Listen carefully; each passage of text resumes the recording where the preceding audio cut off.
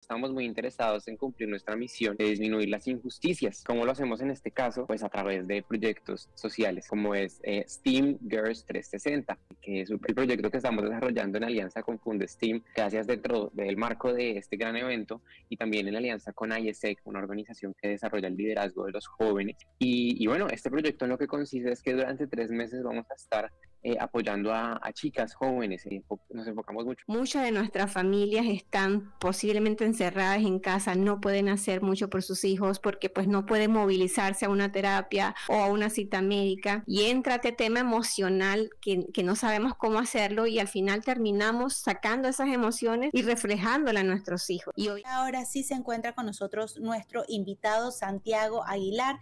Él es especialista de desarrollo de negocios de Centroamérica de Indra y como les comentaba hace unos minutos, vamos a hablar sobre un evento maravilloso que se llevó a cabo hace un par de semanas atrás, que es el Mundial de Robótica y que InDrive estuvo apoyando a un equipo de chicas maravillosas. Así que Santiago, muy buenos días, bienvenido y yo quiero que nos cuentes todo lo que sucedió en el Mundial de Robótica y cómo InDrive apoyó a este equipo de chicas maravillosas en este Mundial de Robótica.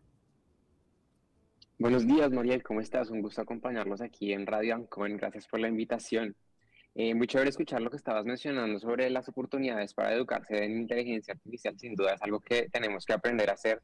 No sé si todas las personas que nos escuchan saben qué es, pero la inteligencia artificial pues lo que permite es que un sistema, que no es un cerebro humano necesariamente, pues pueda tomar decisiones según ciertos parámetros que un humano con valores o que una organización con valores pueda brindar, como InDrive, por ejemplo. Y esto fue lo que pudimos, pudimos ver que pues, niñas, niños desde, desde corta edad pueden aprender a hacer en la Olimpiada Global de Robótica, que fue un evento maravilloso organizado por esta fundación Fundesteam. No sé si has tenido la oportunidad de escucharla.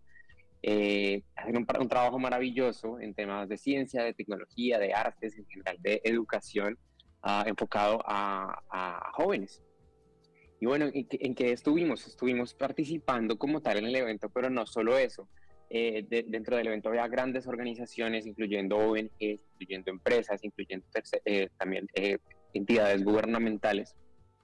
Y allí no solo estuvimos como marca, sino que nos encargamos de, de, dejar algo más, algo más como que estamos muy interesados en cumplir nuestra misión de, de disminuir las injusticias. ¿Y cómo lo hacemos en este caso? Pues a través de proyectos sociales como es eh, STEAM Girls 360, eh, que es el proyecto que estamos desarrollando en alianza con Fundesteam, gracias dentro del marco de este gran evento y también en alianza con ISEC, una organización que desarrolla el liderazgo de los jóvenes. Y, bueno, este proyecto en lo que consiste es que durante tres meses vamos a estar eh, apoyando a, chicas jóvenes. nos enfocamos mucho en este tema de, de disminuir la brecha de género en tecnología, que es una realidad, una realidad que tenemos que aceptar y trabajar juntos. Ah, y bueno, 30 chicas estarán educando no solamente en temas de robótica, de inteligencia artificial, sino también en temas de habilidades blandas, en liderazgo, en resiliencia.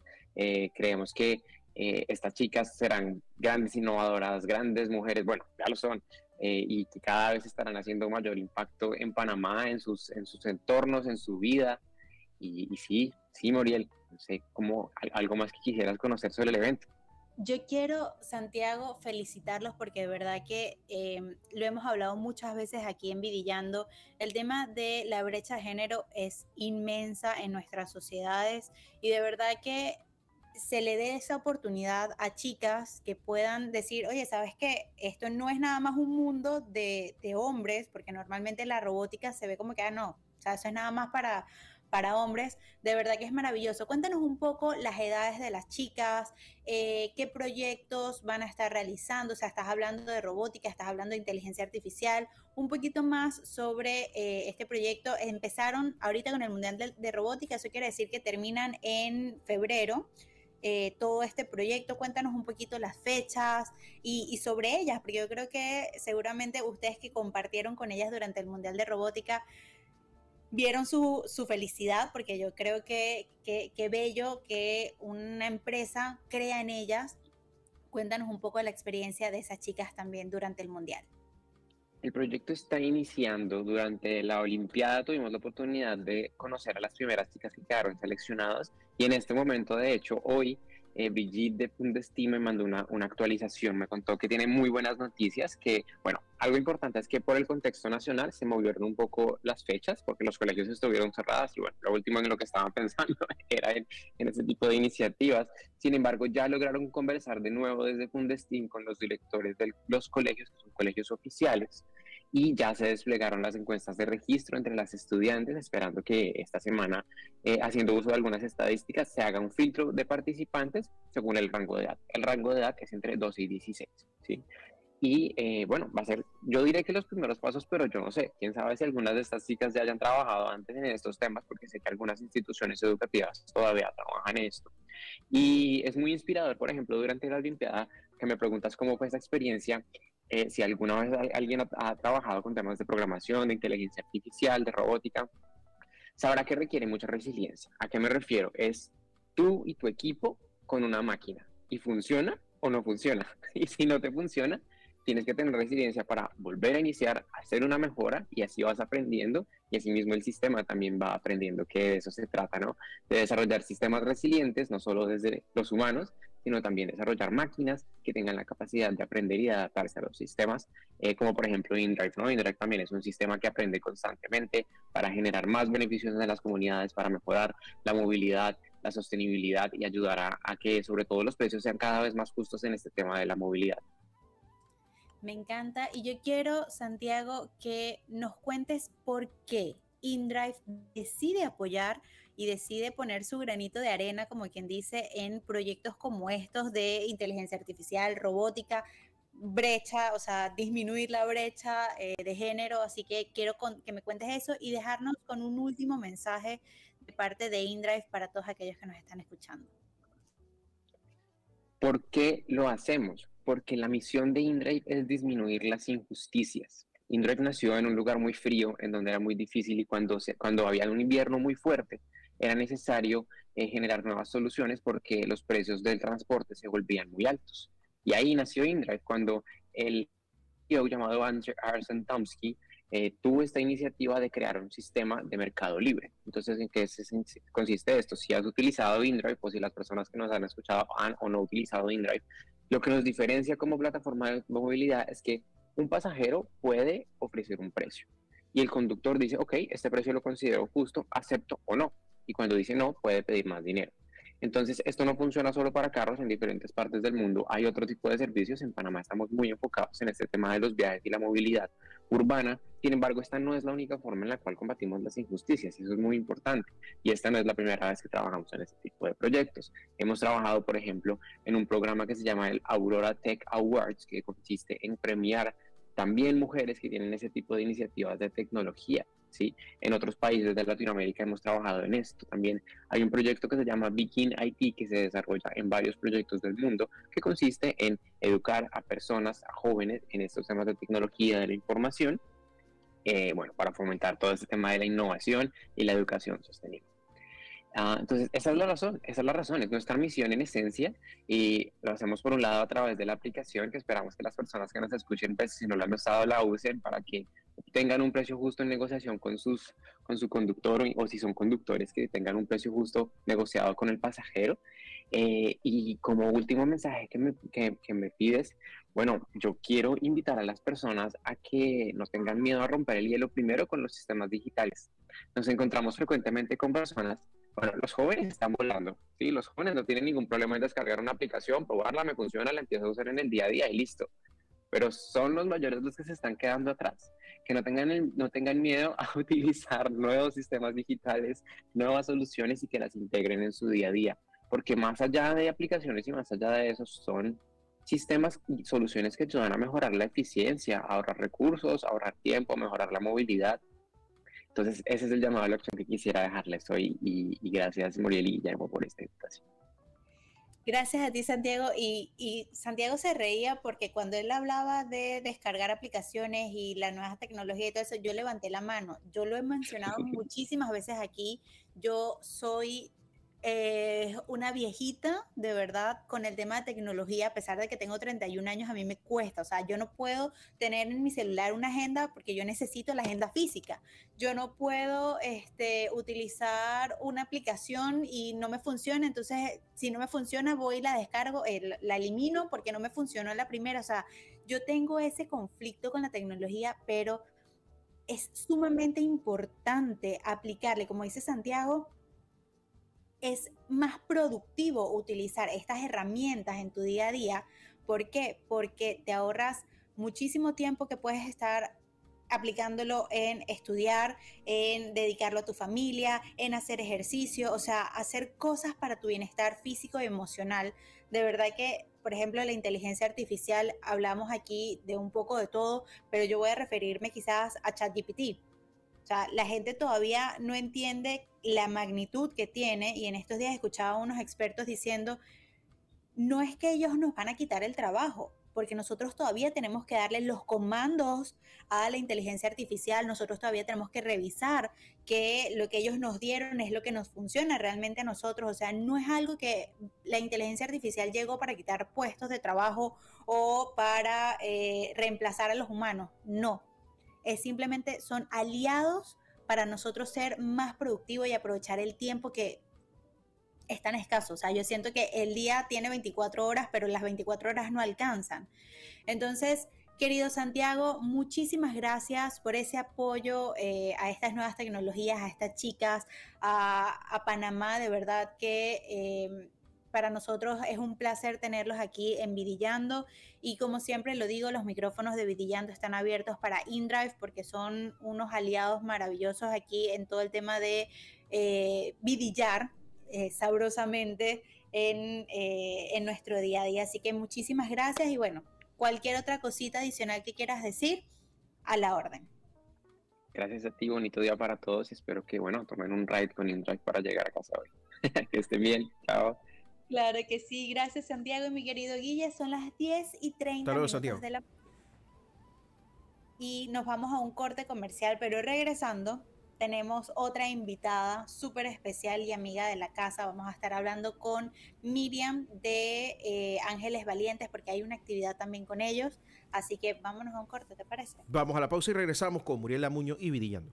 Seguimos aquí, mi querido Guille. Yo te, yo te he dicho Muriel, yo te he dicho Muriel al aire y siempre lo en, en, eventos oficiales yo uso Muriel. No, Muriel la Claro, en eventos oficiales. Aquí en vivo eres Muriel. ¿Cuántos viernes al año? ¿Cuántos viernes son al año?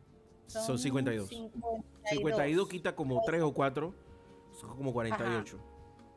Entonces, de esos 48, yo creo que 52 tú me dices Muriel. Bueno, pues, pero es que ese es tu nombre acá. No, allí, aquí, en, Radio Ancon, nada más. Claro, claro. Eh, mira, menos mal que yo sé que es por amor, por cariño. Entonces te lo dejo pasar, tranquilo. Aquí tú y yo, yo y tú. No te preocupes. Mi querido Guille, tenemos una amiga de la casa aquí con nosotros hoy porque resulta que Miriam Meléndez nos va a hablar de Ángeles Valiente, una actividad y un proyecto nuevo que están llevando a cabo y me encanta porque de verdad que como lo hemos dicho aquí es súper importante apoyar este tipo de proyectos que eh, realiza Fundación Ángeles Valiente y cualquier fundación. O sea, de verdad que aquí los micrófonos de Vidillando están abiertos para ustedes cuando necesiten. Mi querida Miriam, muy buenos días, bienvenida, ¿cómo estás? Gracias, Moriel, Guillermo, gracias por el espacio. Siempre me reciben con los brazos abiertos en Radio Ancon. Gracias. Claro que sí, es que nos encanta lo que hacen, nos encanta el proyecto, nos encanta Fundación Ángeles Valientes. Así que cuéntanos cuál es ese proyectico nuevo que nos trae Fundación. Bueno, Fundación Ángeles Valientes, bueno, para los que no nos conocen, este, nos dedicamos a ayudar, a guiar y empoderar a padres que tienen niños con alguna, con algún reto neurológico, llámese autismo, Asperger, déficit atencional, hiperactividad, síndrome de Down, en fin, todo lo que tenga que ver con trastornos del neurodesarrollo. Ya tenemos cinco o seis años ya trabajando, dándole a los padres guía, orientación, pero sobre todo soporte y apoyo emocional.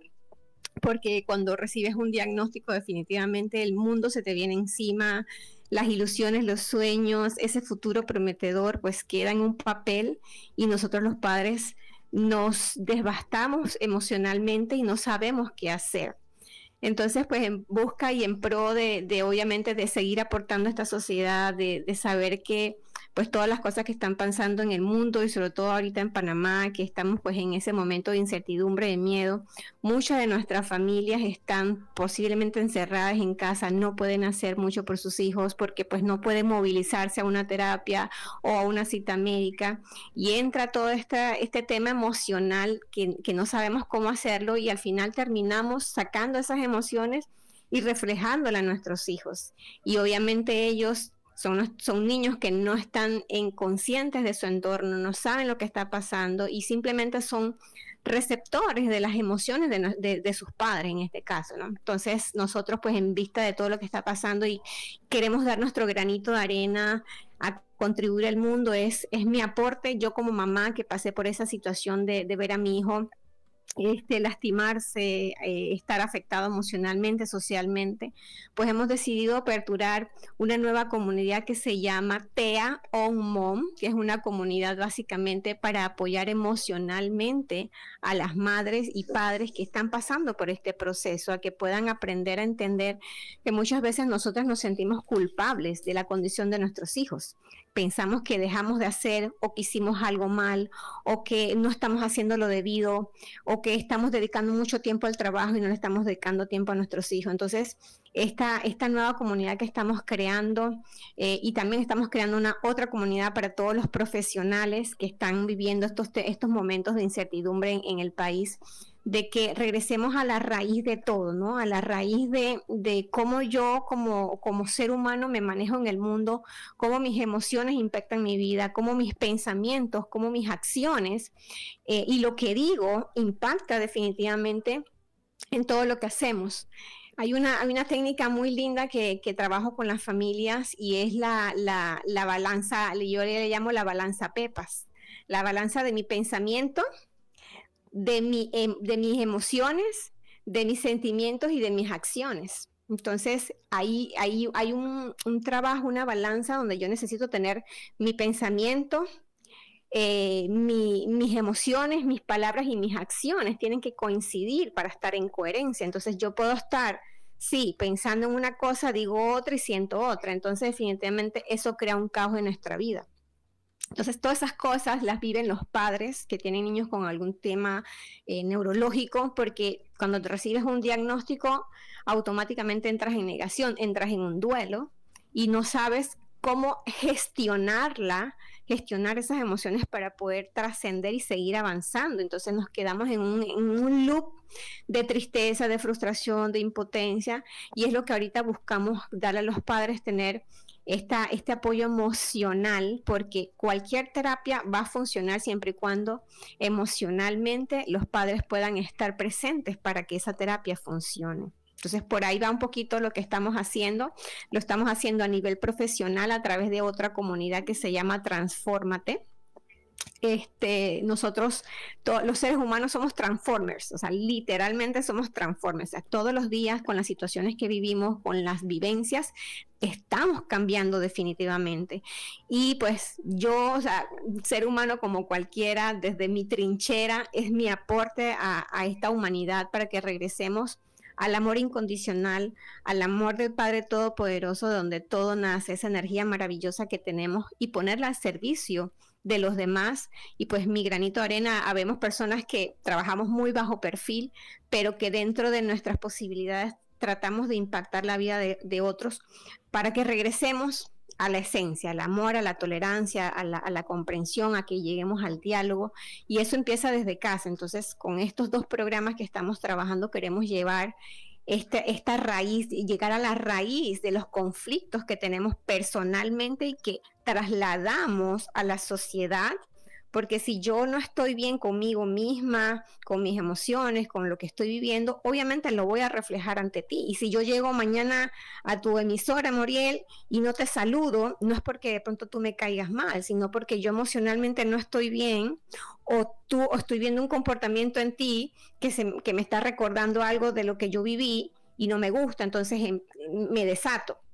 Y hay una serie, aquí me podría quedar horas hablándote del tema, porque aquí entra toda la parte de tecnología humana que tenemos, nuestro cerebro límbico, nuestro cerebro reptiliano, o sea, todas las luchas o todas las peleas que tú ves nace de un cerebro reptiliano, ese cerebro que simplemente en el momento reacciona, ya sea para pelear o para huir. Entonces, el mundo y Panamá está viviendo un momento donde estamos simplemente reaccionando a pelear o a huir. Entonces, no estamos llevando a nuestra a nuestras emociones a un balance para que podamos llegar. Entonces eso nace en la casa, eso nace con nosotros los padres, eso nace que, nosotros le podamos inculcar a, nuestros hijos esa forma de gestionar nuestras emociones. Entonces, son espacios que vamos a tener cada 15 días, charlas gratuitas totalmente para toda la comunidad, para que puedan aprender a entenderse, como digo yo, nosotros cada uno va, va a su ritmo, pero nos vamos atropellando. O sea, queremos hacer de todo, queremos estar en todo, eh, pero al mismo tiempo no, no sabemos cómo gestionar todas las emociones que esas situaciones nos van a generar. Por ahí va un poquito el, tema. Yo creo, Miriam, que lo que hace es maravilloso y como decías al principio, sobre todo en estos momentos en los que estamos en una situación país tan complicada, o sea, de verdad que tener ese apoyo, esa red de apoyo, es sumamente importante para poder liberar, porque muchas veces no nos gusta hablar de nuestros problemas, de nuestros sentimientos y los invalidamos. Y cuando los compartimos, nos damos cuenta que quizás podríamos haber hecho algo un poquito mejor. No, mentira, mejor no, diferente. Entonces, yo quiero invitar a todos los que nos están escuchando, de verdad que si sienten que lo necesitan, puedan tener este grupo de apoyo. O sea, Miriam, cuéntanos cómo pueden ser parte de ese grupo.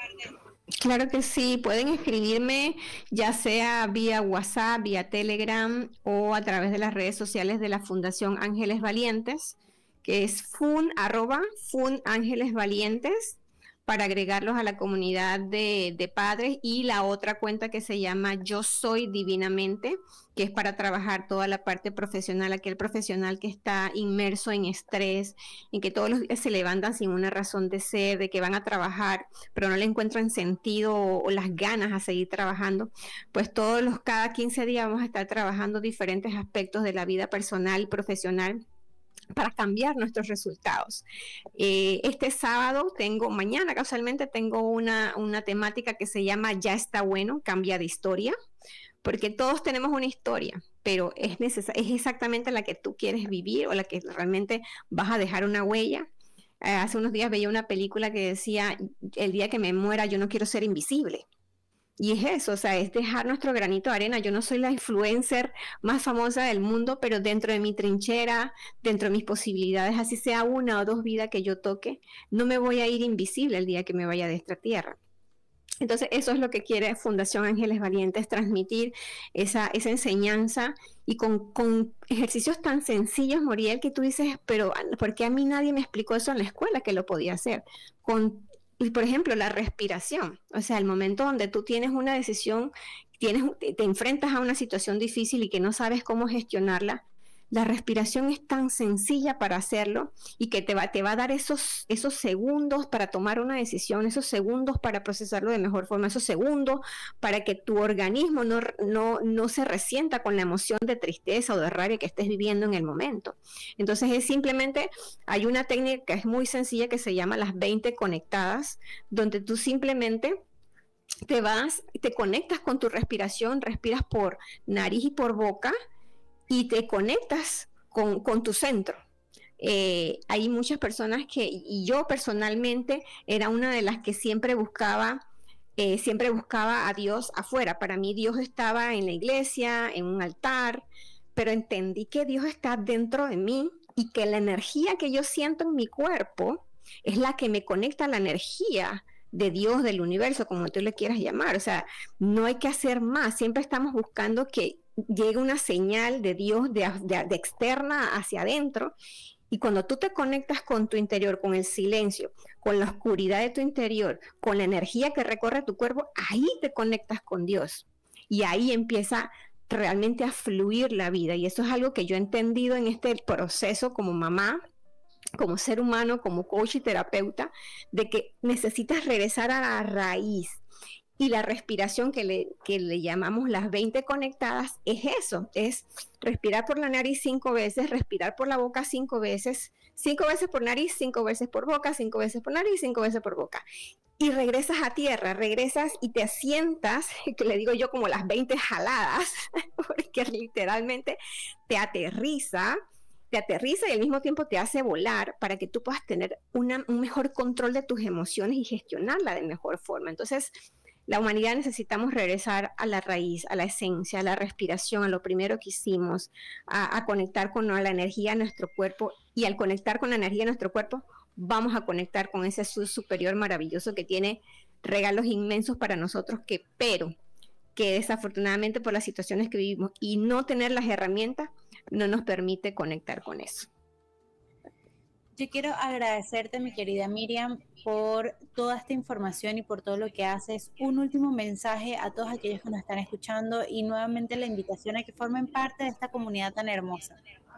Claro que sí. Mira, Muriel, regresar a la raíz, yo creo que yo por muchos años, muchísimos años, yo busqué a Dios en todas partes, en libros, en iglesias, en religiones, en todos lados.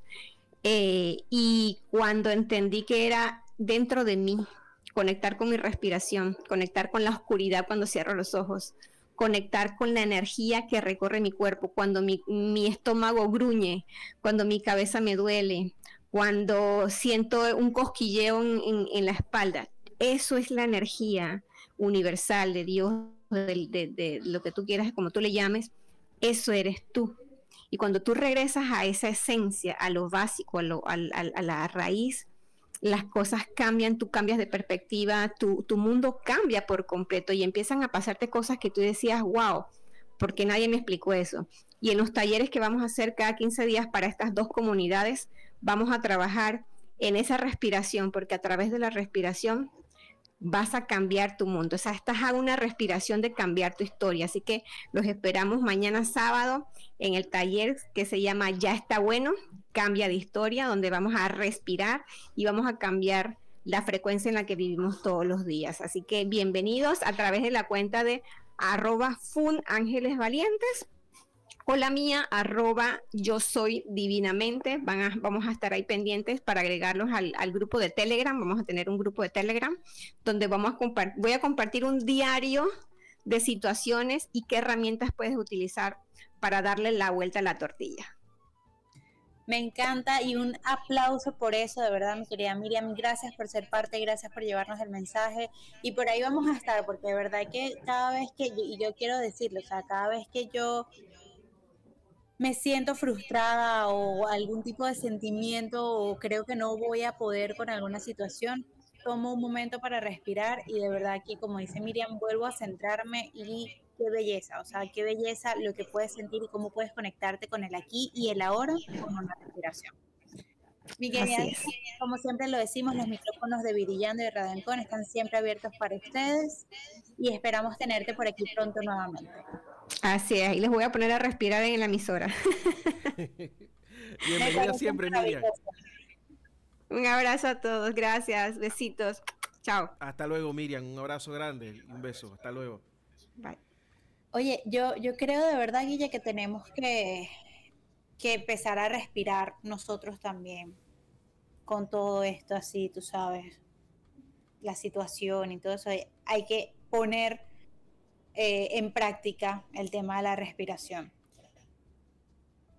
Yo quiero despedirme em, con una información. Yo pensé que ibas a cantar. Mira, ¿sabes qué dice mi mamá? Mi mamá dice que yo canto muy bien, pero que se me escucha horrible, que mejor no, no, no le dé esa satisfacción a las personas. o sea, que el problema somos nosotros los que escuchamos, no tú la que cantas. Exacto. Entonces ella me dice que guarde mi voz para, para personas muy especiales porque no todo el mundo va a entender. No, ya no vamos a llegar a tu rango vocal y entonces no vamos a comprender la magnitud. Exactamente, la magia. Oye, te quiero decir una cosa. Tu cabello te queda bonito. Ay, gracias. El cabello de mamá. Me, gusta ahora que, que, creció un poquito, me gusta cómo te quedó. lo tenía muy corto hace dos semanas atrás. Estaba yo lo veía con preocupación, pero ahora sí se ve espectacular.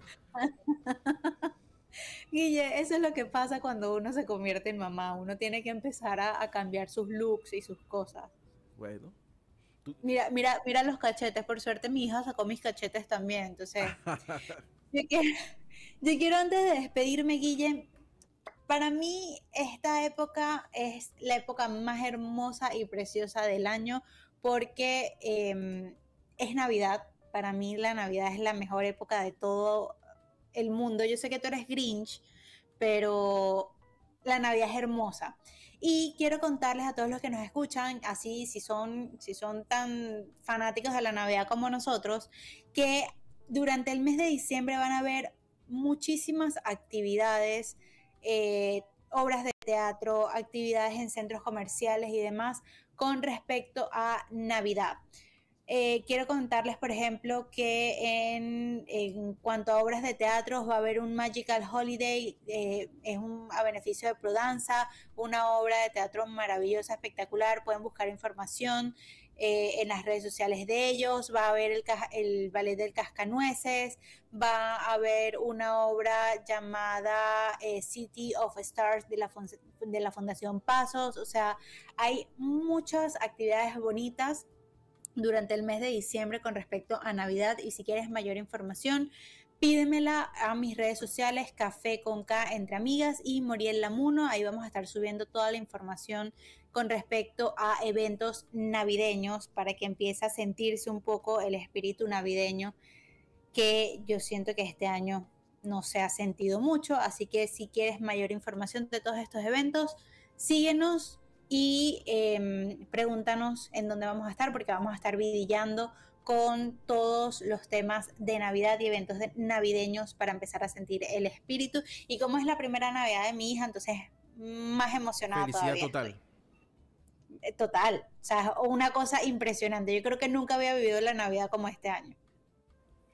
Bueno. Así que bueno, mi querido Guille, el próximo viernes em, vamos a estar eh, haciendo un especial del Día de las Madres, porque el viernes de arriba es ya Día de las Madres, así que... Día de las Madres, ya, ¿ves lo que te digo? O sea, el tiempo pasa rapidísimo. Pero no, todavía no, espérate.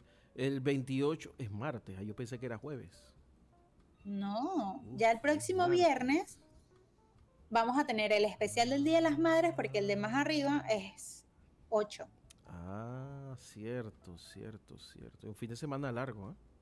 Sí. Así que no pueden perderse el especial del Día de las Madres de Vidillando y Radio Ancom. Tenemos, vamos a tener muchas sorpresitas. Diciembre tiene tres fines de semana largo y el 20 ese metido ahí no mejor ni hablo. Eh, vamos a tomarlo como un día de descanso tranquilo, relax, normalito.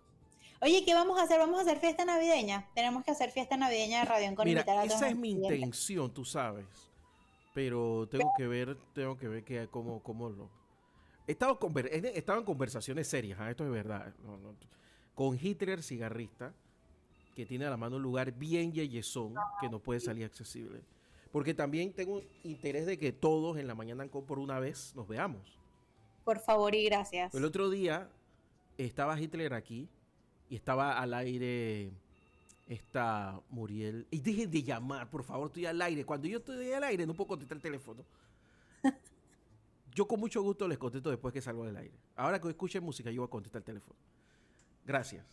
Bueno, la cosa es que en este momento yo llega Hitler y se pone a mirar a Gaby García. Y ella está hablando, hablando, hablando. Y cuando termina de hablar Gaby, yo veo que él entra y le dice, oye, mucho gusto, yo soy Hitler cigarrista. y Gaby tampoco lo conocía, claro, porque no coinciden. ¿Me entiendes? Y entonces le pasa a mucha gente. Yo, yo quiero decir que yo conozco, por ejemplo, a Hitler, conozco a Gerardo, conozco a, a Gaby porque me tocó entrevistarlo una vez, conozco a Alex Newman, conozco a Natalia, conozco a Raquel, pero por mi trabajo. Pero si fuera por nada más que somos parte del crew de Radio Ancon de la Mañana Ancon, no los conociera. Y eso es una querella que yo estoy pegando. O sea, la fiesta de Navidad tenemos que conocernos todos. Es más, deberíamos hacer hasta taller de cuerdas. Pero tú sabes, tú sabes, ¿tú sabes cuántos somos? Somos 36 para hacer este programa. ¿Subimos a 36? Somos 36 porque sumamos a Diego, acuérdate. Ah, cierto, cierto, cierto. Diego, saludos, Dieguito. Que por cierto, en Radio Ancon, en YouTube, ha cambiado mucho. Ya, ya estamos, Todo. Nuestra página de, Instagram, La Mañana Ancon, la también Mañana está. también. La usan a veces para insultar a, alguno que otro, pero. pero bueno, pues la gente necesita desahogarse. A ver, si no tenemos haters, tenemos que preocuparnos. Ahí deberíamos estar preocupados de no tener haters. Exactamente. Así que me, me, alegra que tengamos haters. Mi querido Guille, nos vamos. Y el próximo viernes, ya lo saben, recuerden que tenemos Envidillando el especial del Día de las Madres. Vayan con cuidado este fin de semana, muy pendientes de todo lo que esté pasando, lo que vaya a pasar. Y si no tiene que salir de su casa, no salga. Así quédense tranquilitos como yo, ¿viste? Yo te hago. Pasa un buen fin de semana, mi querida Muriel, y a toda la familia. Eh, agrandada. Somos hermosas. Yo tengo que llevar a Rebeca para que tú la conozcas. Bueno, pero aquí han venido un montón de niños, así que no sería la primera. Digo que aquí han venido un montón de niños y no sería la primera. Ah, viste. Yo, yo entonces la voy a llevar. Ella es tranquilita. Ella mientras está en la calle es feliz. Yo no sé a quién habrá salido qué cosa, ¿no? Qué cosa más rara. Sí, le encanta, le encanta la gente y la bulla y el bochinche y todo eso. Yo no sé a quién salió. Muriela Muñoz, nos vemos la próxima semana, ¿te parece? Un beso y un Hasta la próxima semana. Hasta luego. Era Muriela Muñoz, convidillando aquí en la mañana Ancon por Radio Ancon 92.1 FM y radioancon.com. Eh, porque no tiene ningún sentido andar por la vida sabiendo de que vas a quedar atrapado en un lugar. Entonces ya no vale la pena. Y me preocupa porque hoy es Black Friday y me parece impresionante que siendo Black Friday, o sea, simplemente las calles estén tan vacías. ¿Tú te acuerdas cómo era el año pasado el Black Friday, cómo estaba Calle 50 el año pasado? O sea, de verdad que eso demuestra que ahorita estamos en una situación país un tanto complicada y compleja, esperando noticias pronto de la eh, Corte Suprema de Justicia. Y de verdad que yo espero que podamos salir de todo esto pronto porque hay muchas cosas que hacer. Viene diciembre, hay muchos eventos bonitos que se han tenido que posponer por eh, todos estos temas de la situación país, pero definitivamente hacer la, la, acotación de que si no tienes que salir de casa, simplemente no salgas de verdad que yo creo que es muy importante eso. Y hablando de eventos, ahí teníamos a nuestro invitado, pero se desconectó. Es un evento que, vamos a hablar de, de un evento que se realizó hace un par de semanas atrás, que se tuvo que realizar a puertas cerradas por todo lo que estaba sucediendo en el país en ese momento, pero el apoyo siempre estuvo ahí. Vamos a estar hablando con los amigos de InDrive para eh, tocar el tema del Mundial de Robótica, algo muy importante en el país, del cual no se habló casi, precisamente por todo lo que estaba sucediendo y em, de verdad que este es algo que da pesar, da mucho pesar. Mientras se conecta nuestro... Quedo callado para que la gente, la gente escuche tu teclado. Ah, lo siento, lo siento. Es que a mí, me dicen, a mí me dicen que yo soy mata teclado. pero es que estaba escribiendo y yo, bueno, ya va. Me quedé en silencio para que la gente te pudiera escuchar. Oye, pero eso es una habilidad. A mí me cuesta hablar y escribir. No, tú eres mecanógrafa. Tú eres mecanógrafa. Yo no puedo escribir así. Yo soy matadora de teclado, a mí me decían en, cuando yo trabajaba en oficina. Dije, cuando llegamos a la oficina y escuchamos, sabemos que es Muriel porque está matando el teclado. Y eso que no usaste el teclado IBM. Aquel teclado que hacía un ruido extraordinariamente brutal. Y que sigue que plac, plac, plac, plac, plac, plac, plac, plac, plac, plac, plac. A mí me encanta, yo tengo que admitir que a mí me encantan los teclados antiguos, esos que suenan. Ese mismo, ese es el teclado IBM. que eran las teclas así como de este tamaño. Gruesotas y que tienen un resorte, ese es. A mí me fascinaban esas. Ese, Alex Newman tiene un par, los, lo están recogiendo por ahí. Eh, cuestan, no me preguntes cuestan como 180 dólares, más o menos. Si lo consigues nuevo, te puede costar 500. ¡Wow! Y hay gente que lo está buscando. No es, no es que es un producto que lo vas a encontrar por ahí. Es tan difícil, pero eh, es de colección ya. Es de culto. Yo iba a hacer un mal chiste. Te das cuenta que lo viejo, lo viejo siempre sale más caro. Lo vintage. Vamos no vamos a llamarlo viejo, vamos a llamarlo vintage. Eh, sí, porque ya vienes con lo de lo viejo y cosas, como que tú no estás dejando de ser joven cada día. Estás muy bonita y hermosa. Pero todos los años cumples años. Yo insisto que debemos restar. No, tus ojeras son. No, espérate, espérate un momento. Tus, tus ojeras son buscadas y con felicidad. Así que no me la venga a estar enseñando. Eso sí. Pero, pero yo, yo, yo creo que deberíamos hacer, y, muchas personas me van a apoyar en eso, o sea, deberíamos hacer que los dos años de pandemia no cuenten, o sea, que yo el próximo año en vez de cumplir 32 voy a cumplir recién 30. Puede ser, eso, eso se puede arreglar. Eso se puede arreglar. Tenemos la invitada lista, mi estimada. Tenemos, tenemos nuestra invitada, no tenemos, eh, creo que todavía Santiago no se conecta, pero mientras Santiago se conecta, yo quiero contarles eh, algunas cositas que se van a estar, algunos eventos que se van a estar llevando a cabo este fin de semana, porque yo quiero salirme un poquito de la rutina eh, y hablar de cosas bonitas, cosas para vidillar, para poder, como quien dice, crear un balance en todo esto que está sucediendo. Entonces, tú sabes que hoy en día todo el tema de la inteligencia artificial, si no te montaste en ese patín en un par de años, en cinco años, ya estás obsoleto y vintage eh, como algunas personas eh, aquí en cabina, ¿no? Ok, perfecto, no continuemos entonces. Mis queridos, resulta que hay un evento completamente gratis mañana a las 10 de la mañana sobre inteligencia artificial para la economía creativa. Esto es algo que nosotros tenemos que empezar y es una invitación que yo les hago a familiarizarnos con la inteligencia artificial, porque allá es el futuro. Y este evento completamente gratuito eh, se va a estar llevando a cabo mañana desde las 10 de la mañana y tú puedes eh, obtener tu boleto para poder ingresar, que te manden toda la información en la página Eventbrite. Even, E, -E, -E V E N T Bright, B R I T E. Y quiero contarles que van a tener una formación de dos horas que tiene introducción a la inteligencia artificial, casos de uso en la economía creativa y ejercicios prácticos. La capacitación está dirigida a profesionales de artes plásticas, música, literatura, diseño y otras disciplinas creativas que deseen aprender cómo pueden beneficiarse de la inteligencia artificial y descubrir nuevas oportunidades.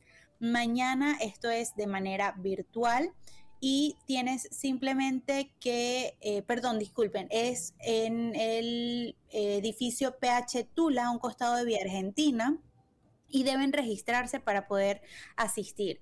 Es algo que les traigo a ustedes porque la inteligencia artificial, señores, es una realidad y la tenemos que aprender a utilizar y tenerla como aliada.